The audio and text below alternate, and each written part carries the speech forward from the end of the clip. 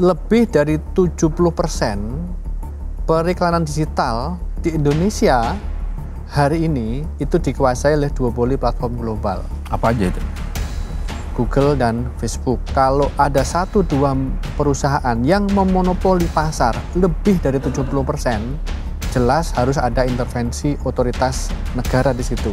Tadi kan katanya jurnalisme berkualitas. Maksudnya apa itu? Maka wajar kalau mereka juga dibebani kewajiban. Good journalism itu salah satunya ditentang oleh teman-teman konten kreator. Kita coba dengar nih, katanya ada yang uh, mengeluh salah satunya konten kreator Deddy Kobuser. Saya melihat uh, mereka menakutkan sesuatu yang tidak ada hubungan dengan apa yang kita sebut sebagai publisher right. Bagaimana kalau ternyata karena lahirnya uh, Perpres ini platform global uh, mereka ini hanya getak sambal gitu ya. Nyatanya ada yang benar-benar pull out tapi pull outnya sementara hmm. itu ada yang tidak jadi pull out. Jujur deh Pak, rasanya akan maju lagi jadi Esko nggak setelah KLB? Presiden dengan kereta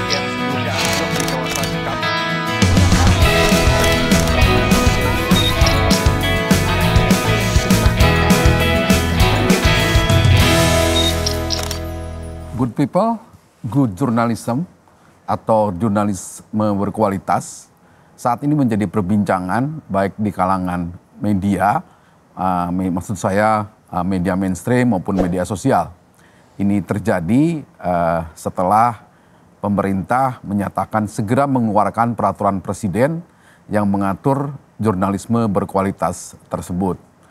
Mengapa uh, kalangan media mainstream merasakan ini perlu uh, lahir peraturan presiden ini, tapi sebaliknya kalangan media sosial, terutama para konten kreator menganggap ini ancaman buat uh, masa depan mereka.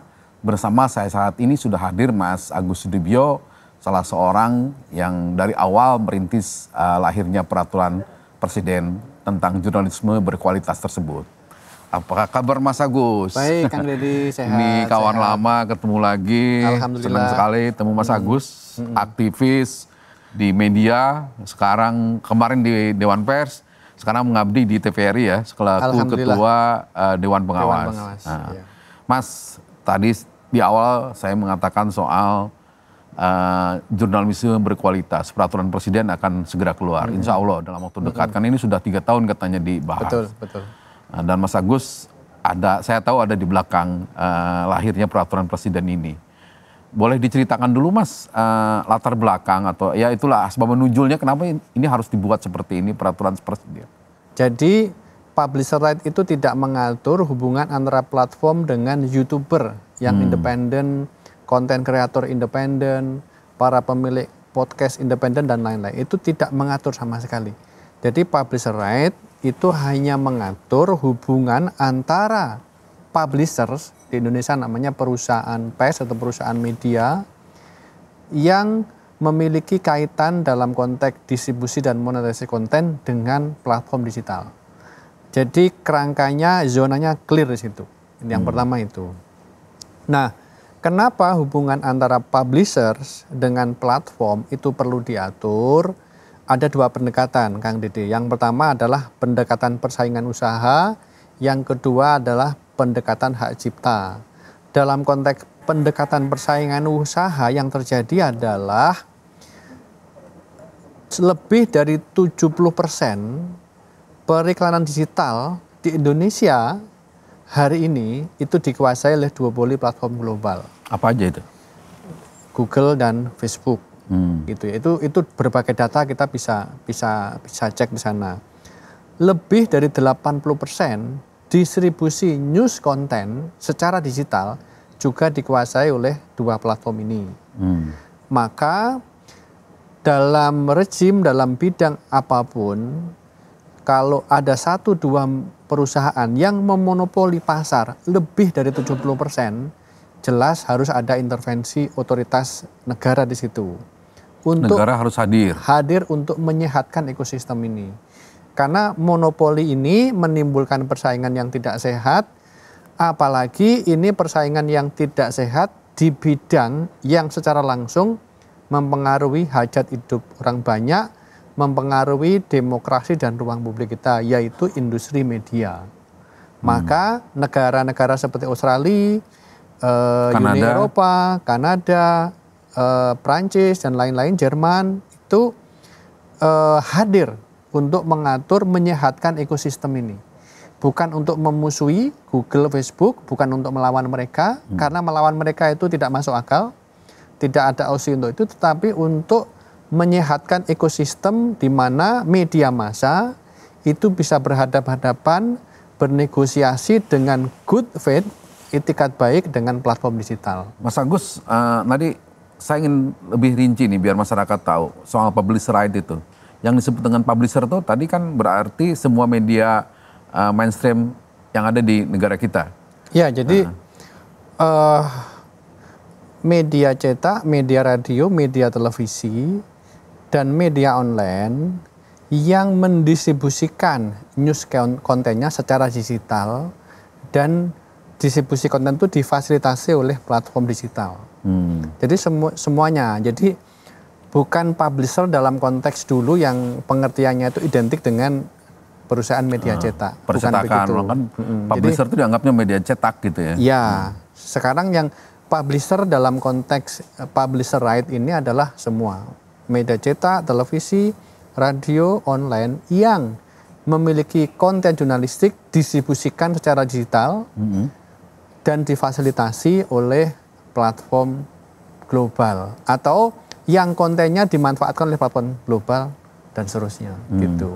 Jadi artinya eh, ini ada kepentingan semuanya untuk membuat eh, media mainstream eh, nasional itu sejajar dengan eh, platform global. Betul. Jadi regulasi ini memberikan hak kepada publisher untuk bernegosiasi dengan platform. Hak untuk bernegosiasi. Tetapi yang namanya hak itu boleh digunakan, bisa juga tidak. Hmm. Kalau ada publishers yang sudah merasa nyaman dengan bentuk kerjasama mereka dengan platform sebelum ada regulasi ini, itu bisa dilanjutkan. Gitu. Jadi hak bernegosiasi itu diberikan kepada publisher, tetapi hak itu bisa dia gunakan, bisa juga tidak. Artinya dengan kata lain, platform global itu wajib bernegosiasi kalau ada request dari publisher. Kalau tidak ada request dari publisher, ya dia nggak wajib untuk bernegosiasi. Gitu. Perpresnya sendiri poin-poinnya apa aja tuh mas? Jadi Tadi kan katanya jurnalisme berkualitas. Maksudnya apa itu?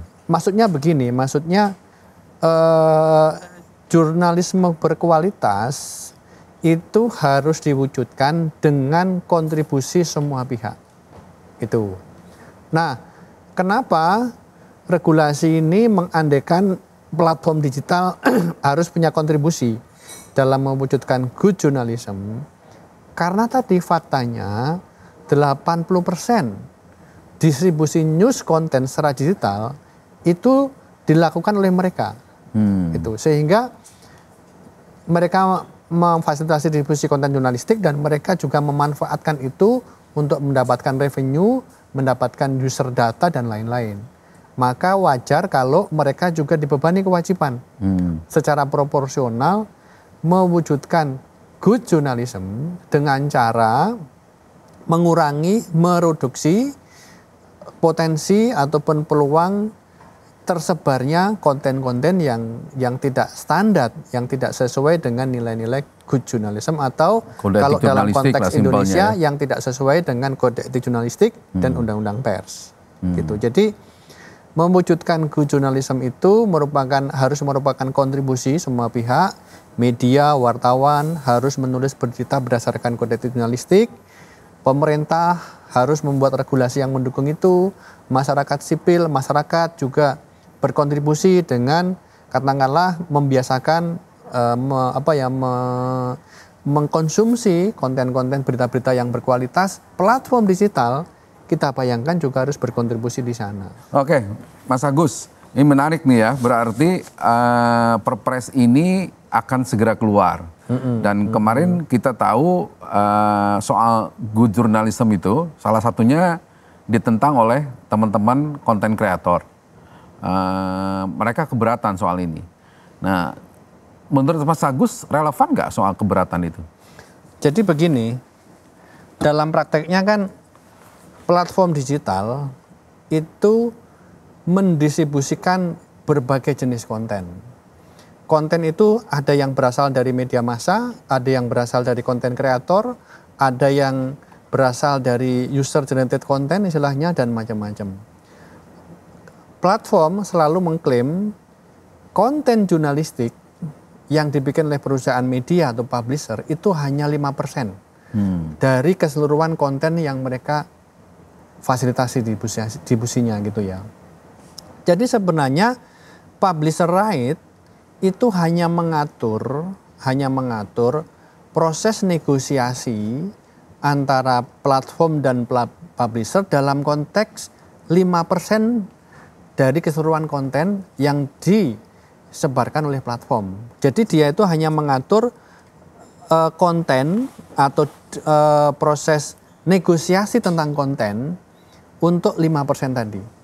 Yang 95% yang konten-konten yang dibikin bukan oleh publisher, oleh oleh YouTuber, oleh konten kreator yang independen itu tidak diatur dalam publisher right. itu. Sama sekali hmm. tidak diatur itu. Hmm. Oke, Jadi kita coba ya. sebenarnya ya. kekhawatiran-kekhawatiran itu tidak berdasar karena sebenarnya regulasi ini sekali lagi tidak mengatur konten, monetisasi konten, distribusi konten yang non jurnalistik. Sama sekali tidak mengotak-atik regulasi hmm. ini. Oke. Okay. Gitu. Mas, kita coba dengar nih. Katanya ada yang uh, mengeluh salah satunya konten kreator Deddy Kobuser. Gimana coba uh, ininya uh, keberatannya? Jurnalisme berkualitas. Ya mendukung hmm. uh, uh, nih pers pers tentang kerjasama perusahaan platform digital dan perusahaan pers untuk mendukung jurnalisme berkualitas yang diusulkan Menteri Komunikasi dan Informatika sebagai pemrakarsa. Draft RPRPS tentang tanggung jawab platform digital untuk mendukung jurnalisme berkualitas yang diusulkan oleh kok fuck? Oh, wow. Gue bilang Oke. Okay. Wow. Nih, bahwa kemerdekaan pers merupakan salah satu wujud kedaulatan rakyat dan menjadi unsur yang sangat penting untuk menciptakan kehidupan bermasyarakat yang adil dan sejahtera ya kan, sebagai perwujudan kehidupan bernegara dan demokrasi. Ending-endingnya mereka mau jurnalisme berkualitas, maka citizen jurnalisme itu harus terkontrol gitu kan? Ditata. Ditata. Emang jurnalisme mereka berkualitas? Definisikan dulu jurnalisme berkualitas itu gimana? Media konvensional mana yang jurnalismenya berkualitas? Coba. Emang jurnalisme mereka berkualitas? Kalau dua TV yang berbeda, dua-duanya presiden berbeda, dua-duanya sujud berbeda, berkualitas. Nih, perusahaan platform digital bertanggung jawab untuk mencegah penyebar luasan berita dan informasi. Eh, lu jawab dulu deh, jawab dulu. Jawab dulu. ya at least kan mereka melakukan proses-proses jurnalistik. Ada dua media yang Bayar. berbeda, presidennya yang menang berbeda. Dia nggak? Hmm Sujud dua-duanya. Ya nggak? Berkualitas itu. Yang sujud satu. Lu jawab nih sebagai orang TV. Yang menang dua-duanya loh. Hmm. Jadi penonton yang ini menganggap ini presiden menang, penonton ini anggap presiden ini menang. Iya. Itu penyebaran hoax. Oleh? Mereka aja nggak berkualitas. Hmm. Di mana berkualitasnya? Gue tanya. Mau lihat berita-berita nggak berkualitas? Hmm. Banyak. Tentang saya aja deh. Nah, misalnya. Oke, Mas Agus. Pertama soal berita berkualitas itu. Tadi yang disebutkan ini pas nih karena saya juga dari hmm. media televisi ya. Isu, apa ketika pesta demokrasi empat tahun lalu ada dua stasiun yang uh, apa memiliki pandangan atau uh, berita yang beda tentang presiden terpilih. Waktu itu kan ada satu sisi Jokowi, satu sisi malah Prabowo gitu hmm. dan dua-duanya menetapkan presiden terpilih. Seperti itu menurut uh, ini benar nggak pandangan konten kreator ini? Jadi kalau masalahnya independensi media dalam konteks kontestasi apa ya eh, apa dalam konteks pemilu gitu itu sebenarnya sudah diatur di undang-undang pers, di undang-undang penyiaran dan sebagian di undang-undang pemilu gitu. Jadi tidak relevan untuk membahas ini dalam konteks diskusi tentang publisher right. Hmm. Itu. Itu sudah ada regulasinya. Perkara regulasinya ditegakkan atau tidak dalam konteks itu kita lihat kasus per kasus tentu gitu ya. Tetapi kalau publisher right sekali lagi begini Mas. Jadi ada banyak pihak yang berurusan dengan platform terkait dengan distribusi dan monetisasi konten. Pihak-pihak itu pertama perusahaan pers. Hmm. Yang kedua perusahaan non pers. Yang ketiga individu-individu konten kreator, pemilik uh, apa uh, podcast dan lain-lain. Yang diatur dalam publisher right itu spesifik sekali. Hanya hubungan distribusi konten dan monetisasi konten antara perusahaan pers, perusahaan media, dalam hal ini disebut sebagai publisher right, maaf publisher dengan platform. Jadi publisher right tidak mengatur hubungan kontraktual atau hubungan informasional antara individu-individu seperti Bung Deddy Corbuzier dan lain-lain dengan platform. Itu hmm. sama sekali tidak tidak disentuh oleh publisher right itu. Juga tidak mengatur hubungan informasional, hubungan kontraktual antara perusahaan-perusahaan, pihak-pihak yang lain yang itu mereka berada di luar apa yang kita sebut sebagai perusahaan pers. Itu hmm. tidak diatur sama sekali. Jadi spesifik sekali publisher right itu hanya mengatur hubungan antara publisher, perusahaan hmm. media atau perusahaan pers dengan, dengan media globalnya, platform digital. Platform global. Jadi sangat hmm. spesifik yang diatur di sini. Hmm. Di luar itu tidak ada pengaturan dalam hmm. publisher itu. Kalau Artinya kita ketakutan konten kreator bahwa mereka terancam uh, apa seperti itu tidak bisa diterima. Tidak, kalau kita membaca publisher tidak ada. Tidak ada. Tidak ada. Harusnya tidak ada kekhawatiran itu. Hmm. Kalau di Uni Eropa yang saya tahu belakangan itu hubungan antara konten kreators dengan platform digital itu diatur dalam regulasi yang lain yang disebut sebagai neighboring right related right. Itu juga sama. Kalau para pemilik podcast, eh, para YouTubers, pemilik akun akun YouTube itu ingin bernegosiasi dengan platform, neighboring right itu memberikan hak bernegosiasi itu. Hmm. Tetapi kalau hak itu tidak digunakan, artinya teman-teman sudah nyaman dengan bentuk kerjasama mereka yang sudah existing dengan platform, dan tidak merasa perlu bernegosiasi, ya hak itu perlu nggak perlu digunakan. Hmm. Seperti Mas, itu. Ini kan kita tahu sudah berlaku di Australia tadi, Betul. di Jerman, negara-negara Eropa dan Kanada juga. -hmm. Nah kasus serupa ini uh, penentangan dari kalangan konten kreator terjadi nggak di negara-negara itu? Terjadi. Oh, terjadi juga. Ter jadi hmm. sebenarnya kalau saya lihat bukan penentangan, tetapi misunderstanding sebenarnya. Oh, atau kekhawatiran lah. Ya kekhawatiran, gitu. salah paham yang menurut saya wajar ya. Saya tidak menyalahkan teman-teman yang yang yang mengalami kekhawatiran itu, tetapi justru yang harus kita pikirkan adalah bagaimana kekhawatiran itu bisa diredusir, bisa bisa dieliminir dengan apa? Menyelenggarakan diskusi yang lebih banyak. Hmm saya senang sekali kalau bisa bertemu dengan teman-teman konten kreator itu karena sebenarnya saya melihat e, mereka menakutkan sesuatu yang tidak ada hubungan dengan apa yang kita sebut sebagai publisher right sejauh yang saya pahami tentang publisher right di Kanada, di Australia, di EU, di uh, di Jerman dan juga yang kita bahas di Indonesia hari ini. Hmm. Gitu. Karena sebenarnya itu tadi kalau dari regulasinya atau kalau kalau kita lihat dari maksud Kominfo, maksud Dewan Pers dan teman-teman asosiasi media itu tidak ada niatan maksud untuk apa katakanlah memberengu membelanggus kebebasan berekspresi internet freedom dalam konteks yang lebih luas. Hmm. Karena sekali lagi konteks pengaturannya itu sangat spesifik. Hmm. Hubungan antara publishers dengan platform.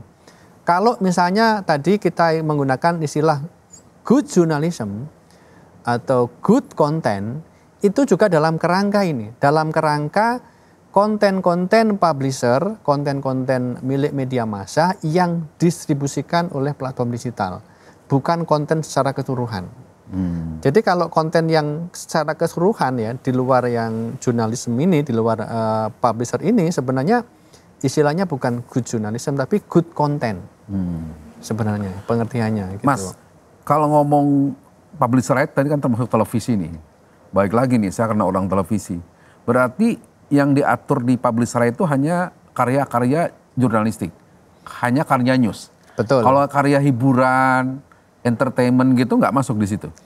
Kalau kita menggunakan istilah good journalism berarti ya konten-konten jurnalistik. Ah, batasannya gitu. jelas itu betul, ya. Betul, Tapi kalau kita merujuk pada kalau di Australia kan namanya News Media Bargaining Code. Hmm. News Media Bargaining Code. Nah itu uh, masih masih ada kata-kata newsnya di situ kan? Ada masih ada kata-kata kata newsnya. Jadi itu masih spesifik dalam konteks uh, konten jurnalistik itu. Tapi kalau kita pakai istilah publisher right gitu, yang di provide yang di generate oleh publisher itu kan kontennya macam-macam. Hmm. Jadi di sini ada uh, area yang disebut sebagai good journalism. Ini spesifik ya, berarti kan konten jurnalistik yang bagus. Di sini ada area good content. Hmm. Kalau kita bicara tentang good content, konten di sini kan macam-macam. Ada konten jurnalistik, ada konten yang non jurnalistik, konten hiburan macam-macam, tetapi dia juga mengandung atau dia komplain dengan prinsip-prinsip uh, konten yang baik untuk dikonsumsi oleh masyarakat. Hmm. Jadi kalau kita menggunakan istilah publisher right itu lebih luas sebenarnya, bukan hanya spesifik mengatur tentang konten jurnalistik. Hmm. Itu. Satu hal lagi mas, soal jurnalisme ini sekarang ini kan tumbuh yang namanya citizen journalism. Betul. Sangat banyak sekarang peristiwa yang mengungkap uh, satu peristiwa atau bahkan kriminal, bahkan pelanggaran hukum gitu kan, mm-hmm. bahkan ya kemarin sempet lah soal apa namanya flexing flexing itu, mm-hmm. itu kan lahir dari para uh, teman-teman uh, dari uh, jurnalis uh, warga. ini warga itu mm-hmm. gitu ya. Nah ini juga akan benar akan menjadi dibatasi atau memang ini terpisah dari uh, publish right ini? itu bagian yang sejauh ini terpisah dari pengaturan tentang publisher right. Hmm. Gitu. Karena yang menjadi subjek untuk bernegosiasi dalam publisher right itu hanya dua. Satu perusahaan platform digital, yang kedua adalah perusahaan pers atau publishers. Hmm. Jadi publisher itu berarti kan institusi ya, ini ini korporasi gitu, bukan individu-individu gitu. Nah, kalau mau menyebut apa kelemahan dari publisher right mungkin itu karena publisher right itu belum memberikan uh, kemungkinan bagi jurnalis-jurnalis independen untuk bernegosiasi dengan platform secara langsung. Hmm. Nah itu itu memang bagian yang belum terakomodasi dalam apa yang kita sebut sebagai publisher right. Tapi suatu saat mungkin itu juga juga menjadi bagian yang perlu di di ini ya. Jadi yang boleh yang memiliki posisi untuk bernegosiasi dengan platform itu bukan hanya korporasi, media, tapi harusnya juga individu-individu, jurnalis, konten kreator.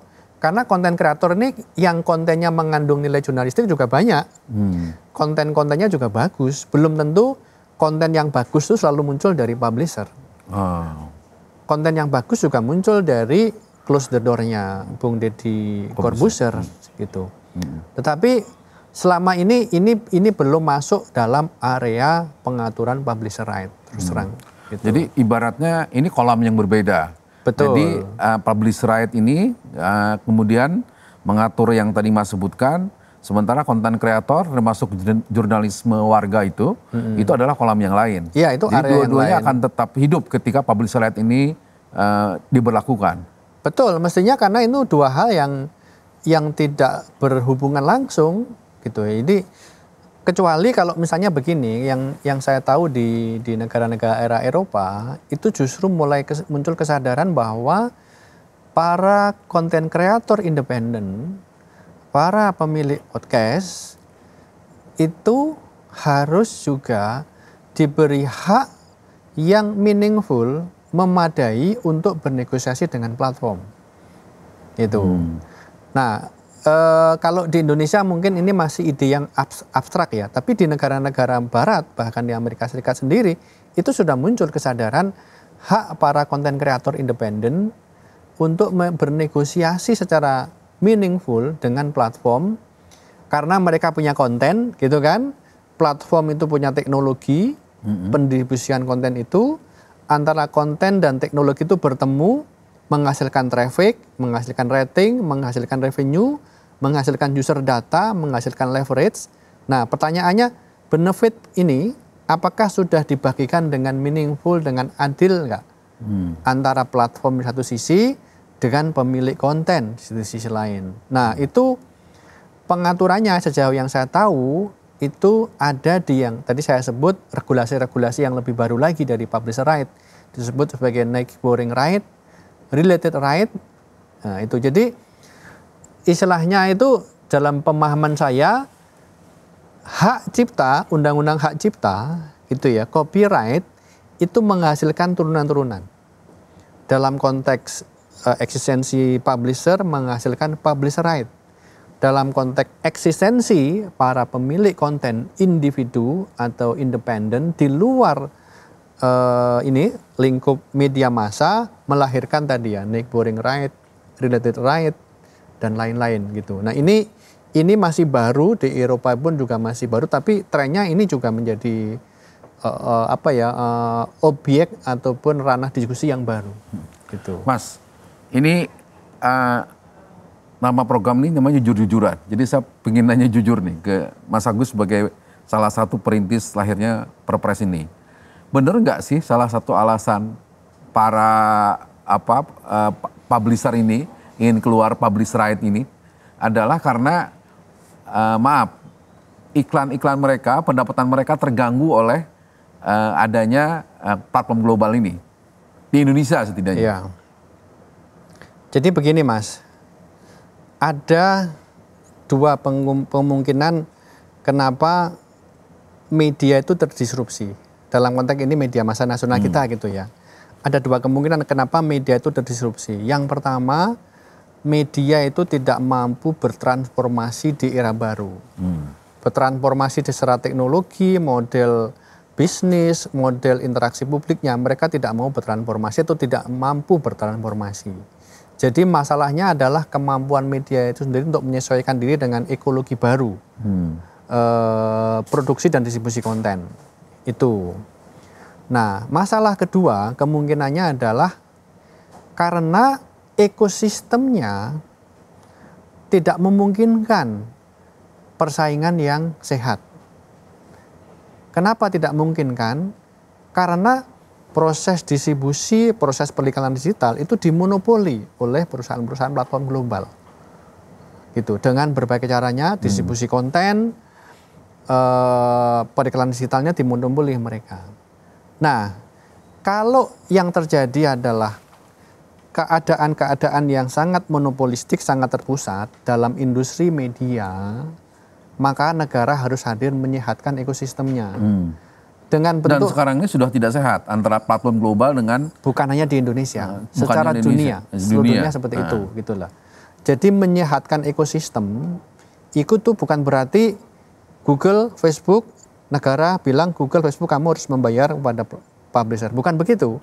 Tetapi Google, Facebook, Anda harus bernegosiasi dengan hmm. publisher terkait dengan uh, proses bisnis yang seimbang antara kalian ber, uh, dua pihak ini gitu. Jadi negara itu hadir untuk itu mas. Nah hmm. untuk me membuat memungkinkan media itu untuk bernegosiasi hmm. gitu. Dan nah, di situ ada kemungkinan termasuk negosiasi soal revenue. Iya memang soal yang disebut sebagai remunerasi konten. Nah itu. Yang disebut sebagai uh, sistem periklanan, skema periklanan yang adil dan dan seimbang yang yang bisa menguntungkan kedua belah pihak dan juga terkait dengan kemungkinan berbagai yang adil tentang akses terhadap user data hmm. gitu.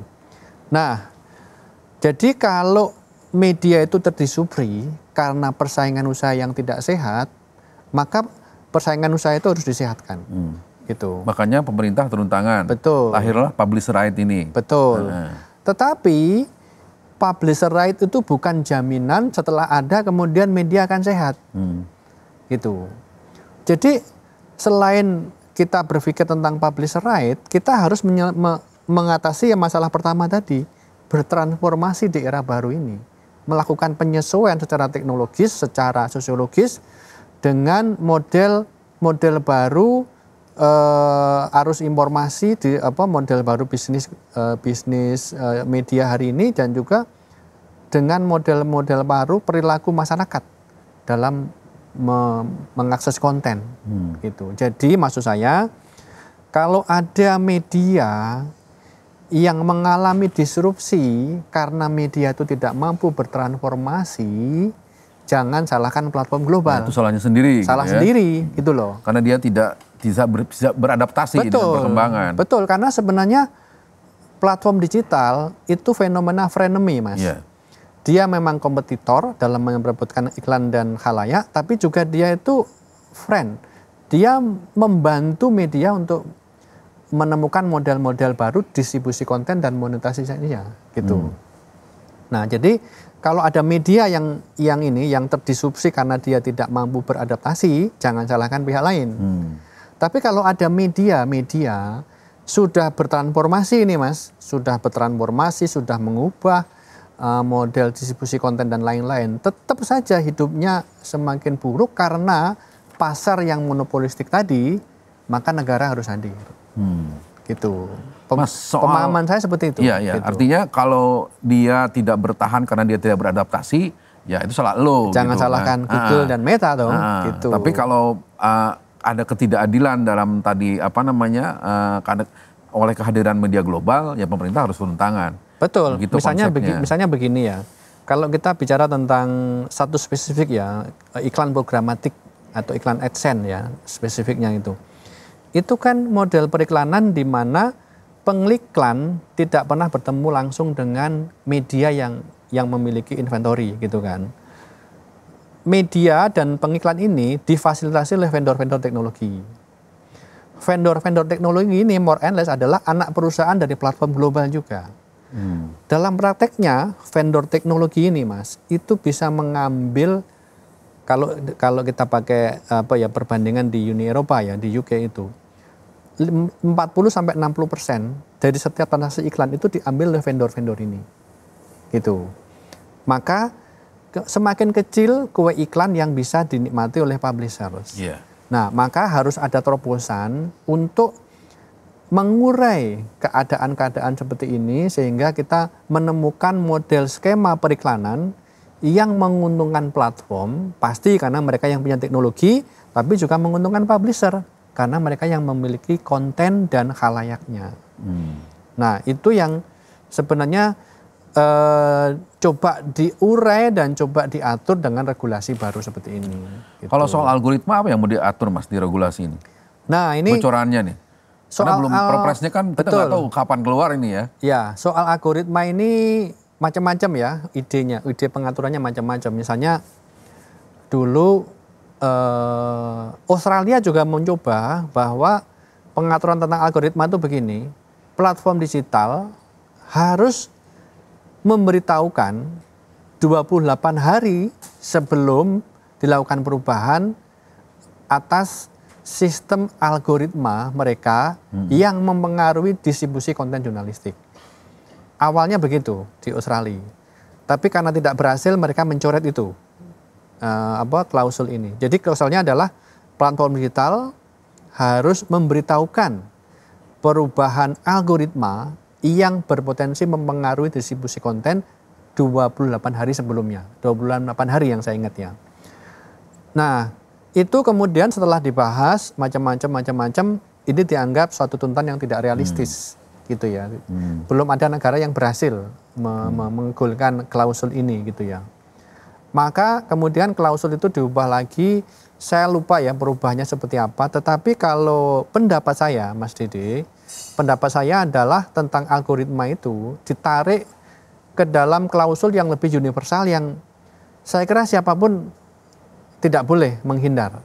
Jadi begini misalnya, platform digital harus memastikan sistem algoritma dan sistem distribusi konten mereka yang lain itu dalam operasionalnya mendukung nilai-nilai ruang publik yang beradab, demokrasi, kemanusiaan, kesetaraan, multikulturalisme dan nilai-nilai lokal.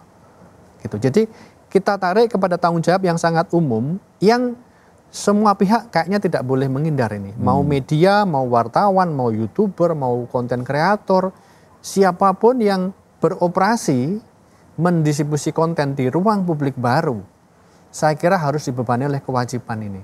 Hmm. Yaitu bagaimana ruang publik baru, ruang publik digital ini harus diisi dengan konten-konten yang kompatibel dengan nilai-nilai ruang publik yang beradab, nilai-nilai demokrasi, multikulturalisme, kesetaraan dan afirmasi terhadap nilai-nilai lokal. Itu. Soalnya kan ada kekhawatiran nih di an- kalangan konten kreator, algoritma ini nantinya diatur untuk menguntungkan publisher Oh tidak. dan sebaliknya merugikan para konten kreator. Tidak bisa karena semua platform itu terikat dalam responsibility liability yang disebut sebagai net neutrality. Tidak boleh membanding-bandingkan antara satu pembuat konten dengan pembuat konten dalam proses distribusinya. Gitu. Jadi tidak ada dan tidak ada eh, klausul yang mengatur seperti itu di publish, di, di, di, di apa ya di publisher right. Kalau publisher right itu menyebut eh, istilah kon, jurnalisme yang berkualitas itu sebenarnya dalam konteks tadi eh, ranah media massa tadi, bukan ranah media sosial secara lebih luas itu. Tetapi kalau eh, kita kembali kepada norma universal tadi ya bahwa siapa pun yang berkontribusi dalam ruang publik baru, katakanlah ruang publik media sosial ini, saya kira harus memiliki tanggung jawab yang sama. Memastikan bahwa ruang publik media sosial itu ramah keluarga, ramah anak, ramah terhadap kelompok-kelompok minoritas. Eh, semua pihak berkontribusi untuk mereduksi kemungkinan munculnya hate speech, hoax, Hoax. apalagi yang memecah belah. Maka sebenarnya eh, dikembalikan kepada norma yang universal tadi ya, kontribusi semua pihak terhadap civilized public sphere, ruang publik yang beradab, nilai-nilai demokrasi, kemanusiaan, kesetaraan, nilai-nilai lokal gitu. Jadi harusnya sebenarnya pandangan kepada publisher itu positif ya. Mungkin yang muncul sekarang karena tadi ya, karena salah persepsi aja gitu kan melihat itu. Tapi Kang Dede memang di negara mana pun yang saya studi saya ikuti memang selalu muncul seperti ini Ah. kontroversi. Ya wajar, ini kan negara demokrasi, Jadi wajar. ah, Mas Jadi Agus. yang yang menurut saya munculnya reaksi kegelisahan, eh, salah paham di Indonesia hari ini itu menurut saya masih dalam batas yang wajar. Hmm. Karena itu juga terjadi di Eropa, di Jerman, eh, di Kanada itu itu wajar, wajar saja gitu. Nah terus mas kaitannya dengan platform global tadi, sudah ada komunikasi belum? Tim perumus ini atau bahkan eh, ya Dewan Pers, ketika Mas Agus di Dewan Pers, saya nggak tahu sekarang Kemeninfo yang memang diberi tanggung jawab oleh Presiden dengan platform globalnya.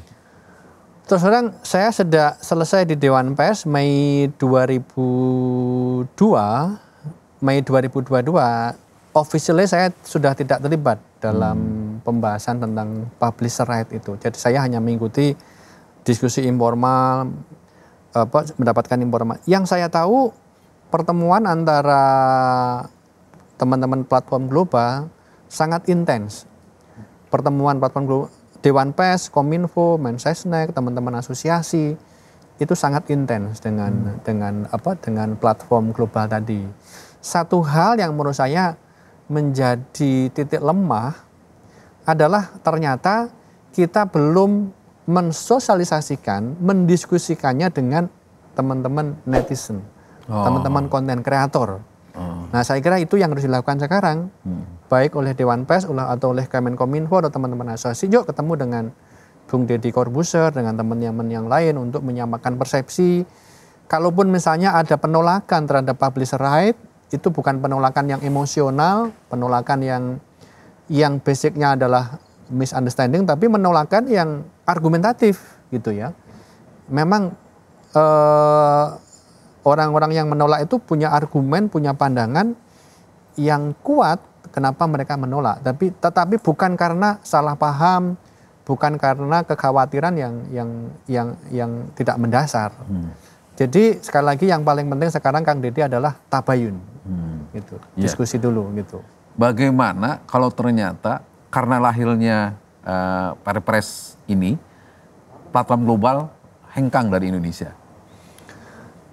Nah, eh Karena mereka mengancam seperti betul, itu. betul. Jadi kalau yang yang saya tahu hengkang atau tidak hengkang platform global itu tergantung pada eh, bagaimana kita merespon, gitu ya. Misalnya eh, saya tahu ketika pemerintah Australia, Google, Facebook juga mau pull out dari pemerintah Australia, dari Australia gitu, perdana menteri Australia itu mengundang Microsoft, gitu ya, mengundang Microsoft, meminta Microsoft untuk untuk ini ya me- membantu men- menyelesaikan masalah kalau benar-benar Google Meta itu pergi dari Australia gitu.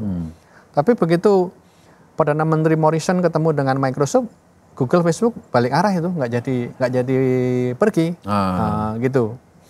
Sama sekarang kita nggak tahu di di Kanada itu bagaimana ya hasil akhirnya. Tetapi ketika Meta mengatakan dia mau pull out dari Kanada, kemudian pemerintah Kanada memutuskan belanja iklan mereka untuk Meta itu mereka Tarik. tarik dan akan mereka distribusikan untuk media-media lokal di di Kanada pada umumnya gitu. Nah itu saya nggak tahu eh, eh, ini kan eh, political games yang belum selesai nih hasil akhirnya gimana. Tapi memang sekali lagi yang saya tahu bahwa platform global mengancam untuk pull out, untuk boykot itu selalu terjadi mas. Di mana pun Ketika suatu negara mengintroduksi regulasi tentang publisher itu. iya. Itu adalah SOP, standar mereka memang begitu. Hmm. Gitu. Jadi ini apa intinya eh, mereka ini hanya gertak sambal gitu ya. Saya tidak tahu persisnya, tetapi harusnya pemerintah media massa harus siap dengan situasi yang seperti ini. Karena Kanada, eh, Uni Eropa, Australia sudah memberi pelajaran kok memang Google, Facebook akan bereaksi seperti itu. Dan, dan nyatanya tidak. nyatanya ada yang benar-benar pull out tapi pull outnya sementara gitu ada yang tidak jadi pull out macam-macam gitu. Jadi intinya eh, kita biarkan mereka seperti itu, tapi sebaiknya di dalam kita juga ada komunikasi dengan para konten kreator ya, karena kita khawatir Betul. justru yang berkomunikasi saya dengar konten kreator tuh dari Google dan kawan-kawan ini, sehingga mereka mendapat informasi yang ya seperti penolakan tadi ya. ya Jadi tapi mereka memanfaatkan konten kreator jangan-jangan untuk menolak publisher right ini.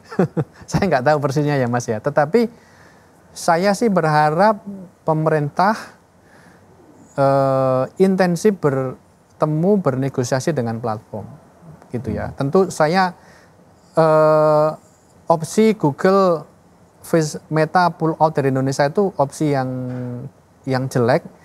Sedapatnya itu opsi itu dihindari.